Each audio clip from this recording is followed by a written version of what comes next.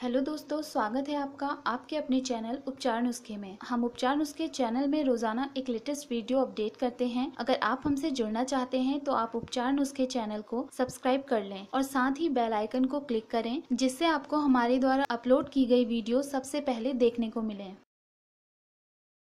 24 अगस्त 2019 श्री कृष्ण जन्माष्टमी, शुभ मुहूर्त व पूजा विधि।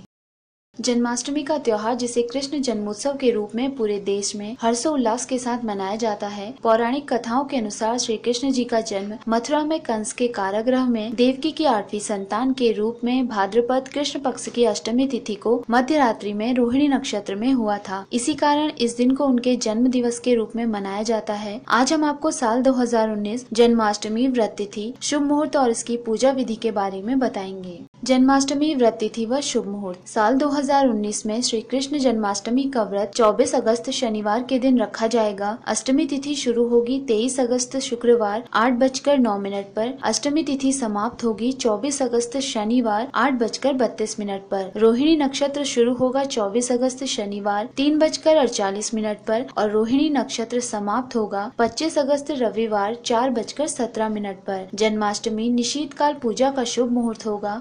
25 अगस्त रात बारह बजकर एक मिनट से बारह बजकर पैतालीस मिनट तक। पूजा की कुल अवधि चौवालीस मिनट की होगी। जन्माष्टमी के पारण का शुभ समय 25 अगस्त को सुबह पाँच बजकर चौवन मिनट के बाद होगा।